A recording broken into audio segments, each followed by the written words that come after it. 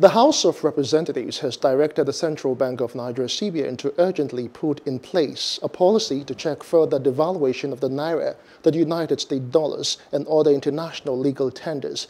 The House directed its Committee on Banking and Currency to ensure compliance and report back to the House in two weeks for further legislative action. The resolutions followed a motion of urgent public importance by Bamidele Salam on Wednesday. The House noted that in February this year, the governor of the Central Bank of Nigeria, while addressing the Bankers Committee at the Summit on the Economy in Lagos, informed the committee about the Naira's devaluation against the USD.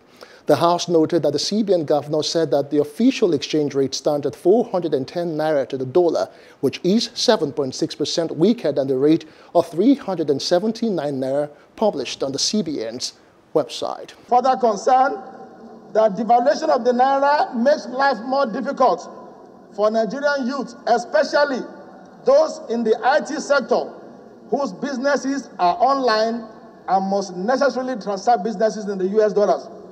It also produces real wages as well as result into low wage growth and rising costs on goods and services. Hello, hope you enjoyed the news. Please do subscribe to our YouTube channel and don't forget to hit the notification button so you get notified about fresh news updates.